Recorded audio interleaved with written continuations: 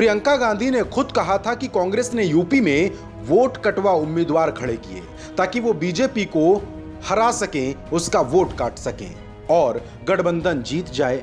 लेकिन यह मामला सिर्फ़ यूपी तक सीमित नहीं है, क्योंकि प्रियंका गांधी के लिए यूपी में बीजेपी से बड़ी दुश्मन मायावती हैं। प्रियंका वाड्रा ने अपने हिसाब से पूरी कोशिश भी इसी दिशा में की। बीएसपी के नेताओं को तड़कर कांग्रेस का टिकट थमाया गया। भीम आर्मी वाले चंद्रशेखर से मुलाकात भी हुई और हकीकत तो यही है कि कांग्रेस के वोटकटवा उम्मीदवार बीजेपी को कम, गठबंधन का खेल ज़्यादा खराब कर रहे हैं। बीजेपी से निपटने में कांग्रेस को अभी वक्त लगेगा, इसीलिए उसकी कोशिश बीएसपी जैसी पार्टियों को निपटाने की है, ताकि कांग्रेस अपनी पकड़ यूपी में मज़बूत कर सके। कुछ ऐसी ही कहानी दिल्ली की भी है। केजरीवाल ने कांग्रेस को सत्ता के शिखर से शून्य पर ला दिया अब केजरीवाल के रहते कांग्रेस दिल्ली में कुछ कर पाने का सपना भी नहीं देख सकती। इसीलिए उसकी पहली कोशिश केजरीवाल को हराने की है। अब प्रियंका वाड्रा जब यूपी के अपने वोट कटवा उम्मीदवारों का खुलासा कर सकती हैं तो उन्हें लगे हाथ दिल्ली और हरियाणा के बारे में भी बता देना चाहिए कि दोनों जगहों पर कांग्रेस के कितने वोट कटवा उम्मीदवार खड़े हैं। क्योंकि हरियाणा में भी कांग्रेस, जेजेपी और इनेलो के रहते बीजेपी को मात नहीं दे सकती।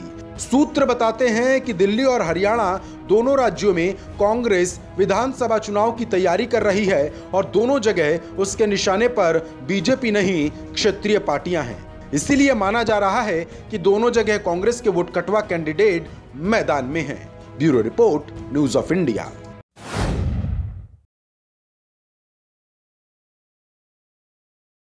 Gautam Gambhir को फंसाने का केजरीवाल और मनीष सिसोदिया का खेल चालू है। इसलिए अतिशी मरलीना से प्रेस कॉन्फ्रेंस कर बिना किसी सबूत के गंभीर पर आरोप लगाया। लेकिन पलटकर गौतम गंभीर ने करारा जवाब ही नहीं दिया, बल्कि अतिशी, सिसोदिया और केजरीवाल को मान हानि का नोटिस थमा दिया। लेकिन केजरीवाल ठहरे पक्के खिलाड़ी, इसलिए आतिशी को सुबह सुबह दिल्ली महिला आयोग भेज दिया। दिल्ली महिला आयोग की अध्यक्ष स्वाति मालीवाल केजरीवाल की करीबी हैं और इसी वजह से उन्हें यह पद भी दिया गया है। इसीलिए माना जा रहा है कि अब अतिशी, केजरीवाल और सिसोदिया की लड़ाई महिला आयोग लड़ेंगी। लेकिन क्रिकेट के धुरंधर गौतम गंभीर अपनी नैतिकता और साफ़ सुथरी छवि के साथ अडिग हैं। उनका साथ देने के लिए मशहूर क्रिकेटर हरभजन सिंह मैदान में उतर आए। हरभजन सिंह ने ट्वीट कर कहा कि वो गौतम गंभीर को बेहतर जानते हैं। और गौतम कभी किसी महिला के बारे में कुछ नहीं कह सकते। लेकिन हरभजन सिंह को क्या पता कि गौतम गंभीर केजरीवाल के फेर में फंसे हैं। आरतिशी मारलीना ने अपनी शिकायत में कहा कि इसमें कोई शक नहीं कि इस मामले के पीछे गौतम गंभीर हैं। वो एक महिला के खिलाफ नफरत भरा दुष्प्रचार कर रहे हैं। अगर बीजेपी और गौतम गंभीर एक सशक्त महिला के खिलाफ ऐसा कर सकते हैं तो अन्य महिलाओं की सुरक्षा कैसे सुनिश्चित करेंगे? दिल्ली महिला आयोग से की गई अतिशी की शिकायत का मजमून ये बताता है कि यह मामला चुनावी है। सियासत के खेल में किसी पर कीचड़ जब तक उछाला नहीं जाएगा, जब तक चुनावी रंग जम नहीं जाता और केजरीवाल इसके पुराने माहिर खिलाड़ी हैं। आम आदमी पार्टी की उम्मीदवार अतिशी मरलीना के आरोप से गुस्साए गौतम गंभीर ने इसके पहले ट्वीट कर केजरीवाल को निशाने पर लिया था और लिखा था कि अरविंद केजरीवाल मैं महिला की निजता से खिलवाड़ को लेकर आपके कृत्य की निंदा करता हूँ। वो भी ऐसी महिला जो आपकी साथी हैं और वो भी चुनाव जीतने के लिए आपके दिमाग में गंदगी भर गई है। ज़रूरत यह है कि कोई आपकी ही झाड़ू से आपके गंदे दिमाग की सफ़ाई करने का काम करे। और इसके बाद गौतम ने तीनों को मानहानि का नोटिस थमा दिया। Bureau report, news of India.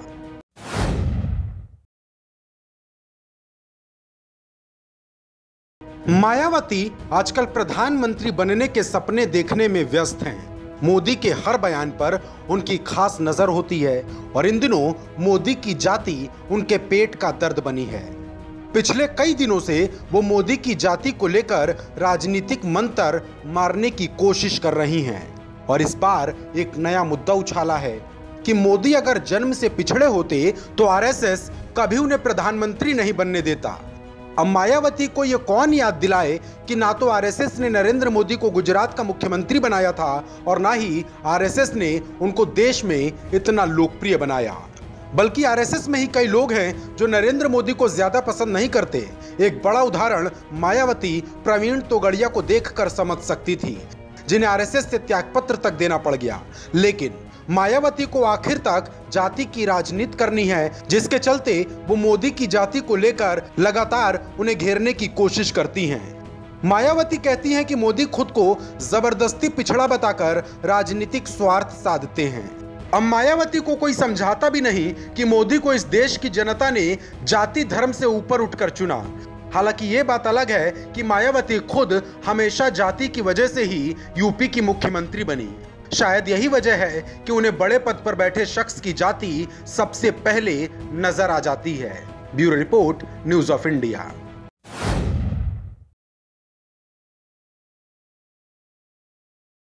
Digvijay Singh और उनके चेले चपाटे भोपाल में घूम घूम कर ये कह रहे हैं कि साध्वी के झांसे में ना आए, जागो मातृशक्ति जागो।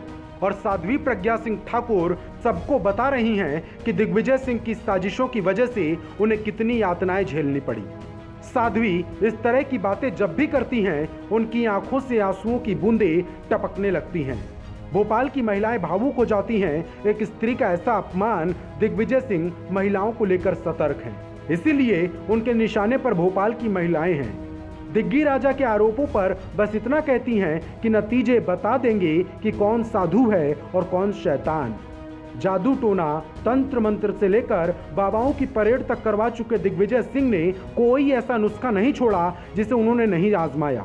कंप्यूटर बाबा की मदद से दो दिन तक भोपाल में जोरदार चुनावी नौटंकी तक करवाने के बावजूद उनकी हालत खस्ता है। अंतिम दौर में एहसास हुआ कि भोपाल की महिलाएँ साध्वी के साथ हैं तो वो बेचैन हो गए। अब मैसेज के ज़रिए मतदाताओं को ये बताने की कोशिश हो रही कि साध्वी पर तीन राज्यों में मामले हैं, इसीलिए उनकी आंसुओं के साथ बहने की ज़रूरत नहीं। साध्वी के आँसू नकली हैं। साध्वी और शैतान की ये भोपाली लड़ाई बेहद दिलचस्प हो गई है। लेकिन इतना तो तय है कि दिग्विजय सिंह अपनी ज़िंदगी की सबसे कठिन लड़ाई भोपाल में लड़ रहे हैं। इसमें अगर वो हारे तो कमलनाथ और ज्योतिरादित्य को सबसे ज़्यादा खुशी होगी। Bureau report, news of India.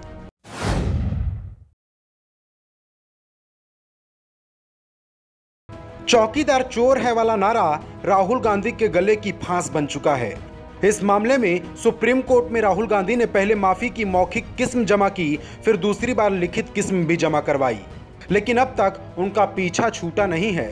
याचिकाकर्ता मीनाक्षी लेखी के वकील मुकुल रोहतगी ने अदालत से कहा, राहुल गांधी के माफीनामे को कोर्ट खारिज कर दे और राहुल गांधी को आदेश दे कि वो देश की जनता से इस बात की माफ़ी मांगे। क्योंकि सुप्रीम कोर्ट के नाम पर झूठा बयान देकर राहुल गांधी ने देश की जनता को गुमराह करने का काम किया है। इसीलिए उन्हें माफ़ी भी जनता से ही मांगनी चाहिए। इस मामले की सुनवाई के बाद सुप्रीम कोर्ट ने फैसला सुरक्षित रख लिया कि राहुल गांधी के खिलाफ दाखिल याचिका पर सुनवाई बंद की जाए या नहीं। पहले राफेल मामले में पुनर्विचार याचिका को सुप्रीम कोर्ट द्वारा स्वीकार किए जाने के बाद राहुल गांधी ने कहा था कि अब सुप्रीम कोर्ट ने भी मान लिया है कि चौकीदार चोर है। बीजेपी नेता मीनाक्षी लेखी ने इसे कोर्ट की अवमानना माना और राहुल गांधी के खिलाफ याचिका दाखिल की।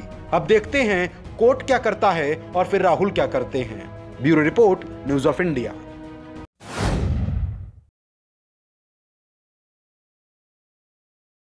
Hindustan की राजनीति में मायावती की माया बड़ी गजब की है। वो क्या करती हैं, क्या कहती हैं, क्या सोचती हैं, किसी को नहीं पता। यूपी में जिस समाजवादी पार्टी को वो गुंडों की पार्टी कहा करती थी, उसी से हाथ मिला लिया। कांग्रेस की अगुवाई वाली जिस मनमोहन सरकार को वो बिना शर्त बाहर से समर्थन दिया करती थी, उसी का खेल यूपी में खराब करने की पूरी कोशिश की और मध्य प्रदेश में उसी कांग्रेस को समर्थन देकर कमलनाथ की सरकार बनवा दी। लेकिन मायावती का मायावी किस्सा सिर्फ़ इतना भर नहीं है। इसके आगे की कहानी यह है कि अब दिल्ली में मायावती कांग्रेस का खेल खराब करने की पूरी प्लानिंग कर चुकी हैं। दरअसल उत्तर पूर्वी दिल्ली की सीट से कांग्रेस की शीला दीक्षित चुनाव लड़ रही हैं। उनकी टक्कर दिल्ली बीजेपी अध्यक्ष मनोज तिवारी और आम आदमी पार्टी के बड़े नेता दिलीप पांडे से है। दिलीप पांडे इस सीट पर कांग्रेस के वोट काटने से ज़्यादा कुछ नहीं कर सकते। लेकिन इस बीच मायावती ने शीला दीक्षित को हराने की पूरी प्लानिंग की है।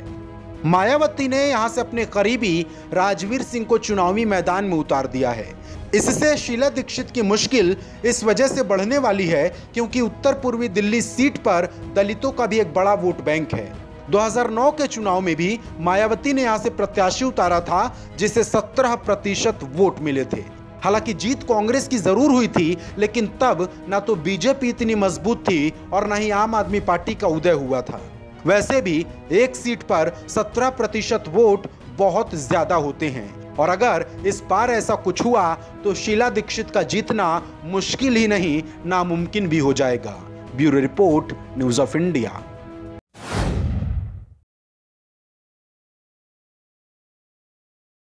Azamgarh से पहली बार किस्मत आजमा रहे अखिलेश मुश्किल में फंसते दिख रहे हैं। एक तरफ़ निरहुआ तो दूसरी तरफ़ चुनाव अधिकारी। हालात ये हैं कि अखिलेश आजमगढ़ में सभाएँ भी नहीं कर पाए।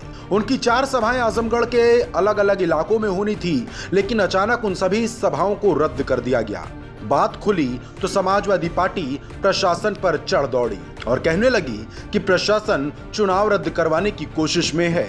जबकि प्रशासन का कहना है कि सभा करने के लिए उसने मना ही नहीं किया। सभा रद्द करने का अनुरोध समाजवादी पार्टी ने ही किया है। अखिलेश और प्रशासन के बीच इस खेल की हकीकत कुछ और है। हकीकत ये है कि अखिलेश की तरफ़ से चुनावी खर्चे का हिसाब। दरअसल नियमों के मुताबिक चुनाव आयोग ने हर उम्मीदवार के लिए खर्च की एक सीमा तय कर रखी है। सभाओं और प्रचार में होने वाले खर्च की जाँच भी की जाती है और आयोग की तरफ़ से हर चीज़ की कीमत भी तय है। बस, इसी चक्कर में अखिलेश यादव को अपनी सभाएँ रद्द करनी पड़ी। लेकिन समाजवादी पार्टी का आरोप है कि प्रशासन ने जानबूझकर खर्च की पूर्व निर्धारित दरों को संशोधित कर दिया है। हालाँकि ऐसा होता नहीं है। आजमगढ़ में अखिलेश यादव कड़ी लड़ाई में फंसे हैं। बीजेपी अखिलेश को हराने के लिए अपना पूरा ज़ोर लगा रही है। योगी आदित्यनाथ से लेकर पार्टी के कई नेता सभाएँ कर चुके हैं। यहाँ तक कि पीएम मोदी भी आजमगढ़ में बड़ी रैली कर चुके हैं। ऐसे में अखिलेश को अपनी सभाएँ रद्द करवाना महँगा पड़ सकता है। निरहुआ लगातार इस बात का दावा कर रहे हैं कि अखिलेश को तो हारना ही होगा। योगी आदित्यनाथ ने भी कुछ ऐसा ही दावा किया। Bureau report, news of India.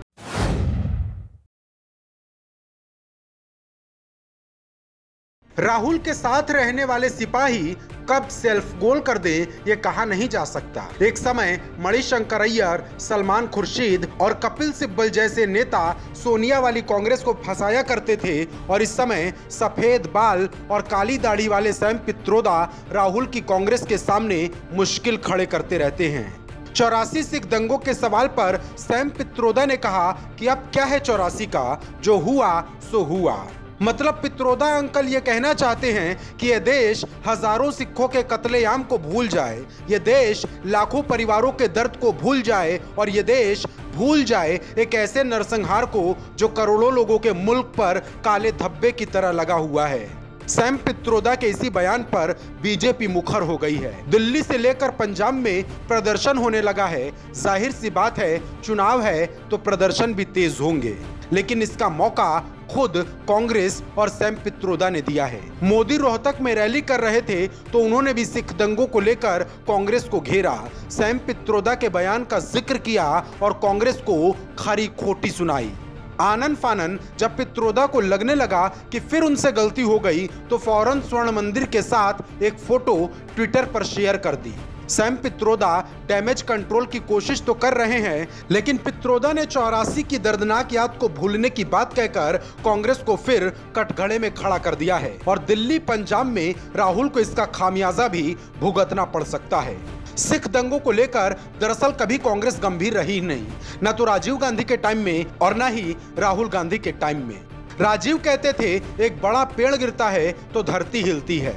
और राहुल ने क्या किया? राहुल ने मध्य प्रदेश में उस कमलनाथ को मुख्यमंत्री बना दिया, जिन्हें बार बार सिख दंगों से जोड़ा जाता है, लेकिन कांग्रेस है कि मानती ही नहीं।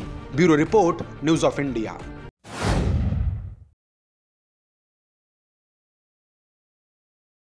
Bihar में लोकसभा के रण में चुनाव प्रचार की शुरुआत भले ही विकास के नाम पर हुई हो पुलवामा के बाद मोदी सरकार की एयर स्ट्राइक जनभावना बनी हो। लेकिन अंतिम तौर पर नरेंद्र मोदी को दोबारा प्रधानमंत्री बनाने का मुद्दा ही कारगर साबित हो रहा है, जो कि एनडीए के हक में जाता नज़र आ रहा है। दरअसल पाँच चरण के मतदान खत्म होने के बावजूद विपक्ष ने ठोस ढंग से किसी एक नेता का नाम प्रधानमंत्री पद के लिए प्रस्तावित नहीं किया है। यानी टुकड़ों में बटे विपक्ष पर बिहार की जनता इस बार भरोसा करने के मूड में नहीं दिख रही। बिहार में महागठबंधन के सबसे बड़े घटक दल, आरजेडी को कांग्रेस अध्यक्ष राहुल गांधी में पीएम बनने की संभावना आधे चुनाव खत्म होने के बाद दिखती है।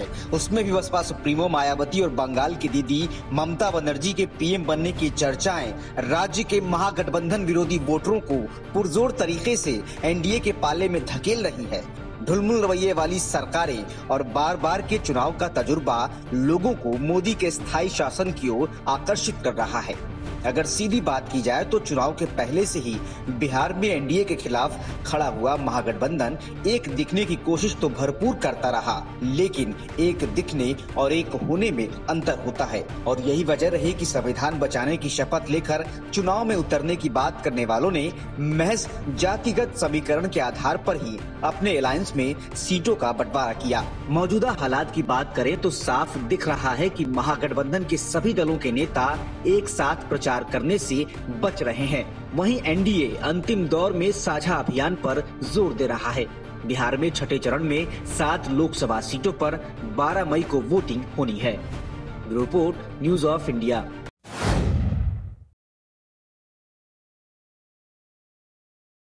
पूर्वी दिल्ली में आतिशी मरलीना के अभद्र चर्चे बटने की चर्चा हुई तो केजरीवाल एंड कंपनी ने बिना कुछ सोचे समझे गौतम गंभीर का नाम उछालना शुरू कर दिया।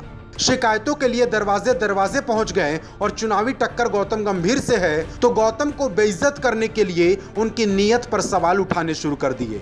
अभद्र पर्चे आतिशी के बटे हैं, छवि आतिशी की खराब हुई है और केजरीवाल इसमें सियासी फ़ायदा ढूँढने निकल पड़े हैं। किसी को नहीं पता पर्चे कहाँ से आए और किसने बंटवाए, लेकिन केजरीवाल के लिए चुनाव जीतना सर्वोपरि है। इसी वजह से वो फ़ौरन गौतम गंभीर को विवाद में घसीट लाए। केजरीवाल बीजेपी का नाम भी ले सकते थे, आरोप लगा सकते थे, जाँच की मांग कर सकते थे, लेकिन उन्होंने तो ऐसा कुछ नहीं किया। उनके टारगेट पर आए सीधे गौतम गंभीर, क्योंकि केजरीवाल को लगता है गौतम गंभीर को बदनाम करके वो पूर्वी दिल्ली की सीट जीत सकते हैं।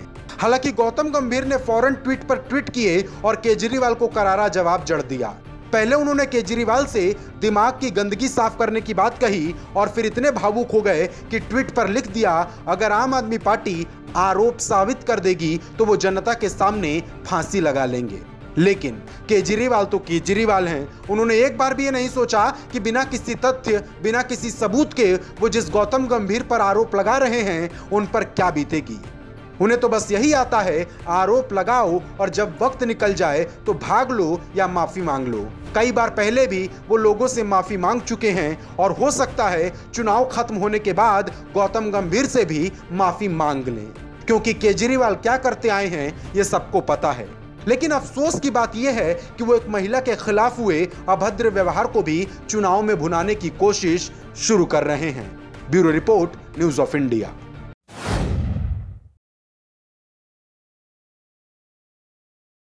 Modi और शाह के नेतृत्व से खफा होकर शत्रुघ्न सिन्हा कांग्रेस में चले तो गए, लेकिन आगे की सियासी राह अब शत्रुघ्न के लिए बहुत आसान नहीं। शायद अब उनको ज़्यादा दिन तक राजनीति करनी भी नहीं और इसी वजह से बगावत का झंडा वो तेज़ी से ऊँचा कर रहे थे। शत्रुघ्न चाहते थे कि इस बार उनकी पत्नी भी चुनाव लड़े, जो कि बीजेपी में रहते हुए मुमकिन नहीं था और वो कांग्रेस के हो गए। इस बार फिर वो पटना साहिब से उम्मीदवार हैं। लेकिन पहले उनके सिर पर बीजेपी का साया था, जो कायस्थ बाहुल पटना साहिब से उन्हें संसद पहुँचा देता था। और इस बार की कहानी दूसरी है। शत्रुघ्न सिन्हा इस बार उस कांग्रेस के टिकट पर चुनाव लड़ रहे हैं, जिसका जनाधार मौजूदा वक्त में न तो पटना में ज़्यादा है, न पटना साहिब में।